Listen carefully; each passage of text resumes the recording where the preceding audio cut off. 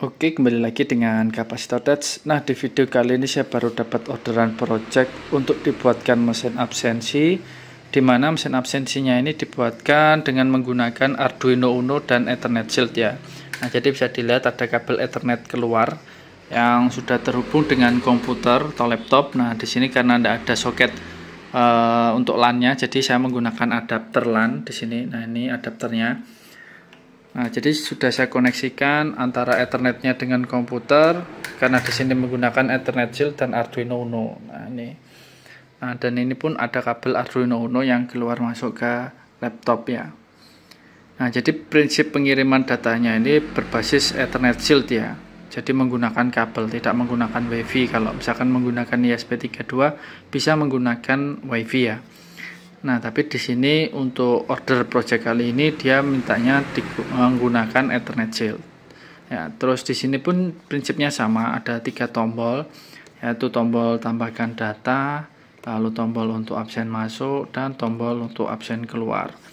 Dan ini untuk scan kartu RFID-nya, disertai ada tampilan LCD-nya di sini, lalu juga ada buzzernya setiap kali kartu ditempelkan.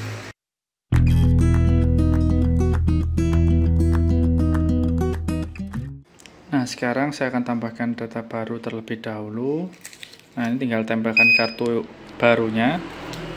Nah, nanti kalau misalkan sudah terbaca data ditambahkan dan muncul nomor ID dari kartunya, nanti dia akan masuk di webnya. Nah, ini adalah webnya. Nah, jadi ini tinggal kita klik tambahkan data karena kita ingin menambahkan data baru, lalu tinggal pilih namanya.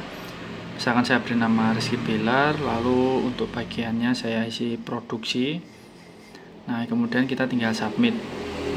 Nah nanti masuknya di bagian data karyawan ini ya. Nah nanti masuknya di sebelah sini.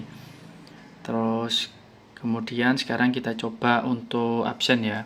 Tadi kan menambahkan data. Nah untuk absennya tinggal kita klik absen masuk untuk mas uh, absen masuk ya.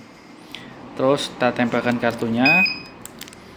Nah nanti dia akan muncul absen berhasil Nah, nanti dia akan muncul di tampilan ini. Nah, ini sudah masuk untuk jam masuknya jam sekian dengan tanggalnya ya. Terus kemudian kalau misalkan untuk absen keluar, dia nanti akan muncul di sebelah absen masuknya. Saat ditempelkan absen berhasil. Nah, nanti muncul di sebelahnya ini. Jadi jadi satu untuk masuk dan keluarnya. Nah, seperti itu. Dan ini pun uh, bisa direkap untuk datanya. Tinggal pilih tanggalnya tanggal berapa yang mau diambil datanya yang mau dikolek datanya. Terus kita tinggal pilih download ya. Nah nanti datanya sudah berhasil terdownload tinggal kita open.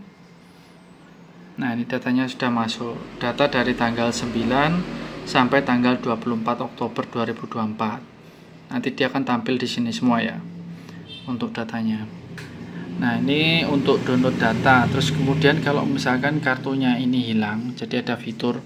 Kalau misalkan kartunya hilang kita tinggal tambahkan data. Kita tekan tambahkan data di sini. Terus tempelkan kartu yang baru. Ya kartu baru bisa tempelkan. Nah ini sudah masuk. Nanti muncul di sini. Nah tapi nanti bukan ditambahkan data kita pilihnya di edit tab ya jadi klik di edit tab terus tinggal dipilih namanya siapa yang kartunya ini hilang. Nah misalkan yang kartunya hilang yang ini ya. Ini saya pilih lalu disubmit. Nah nanti dia datanya akan berubah semua. Mulai dari data karyawan dan absensi karyawan ini dia akan berubah semua untuk datanya.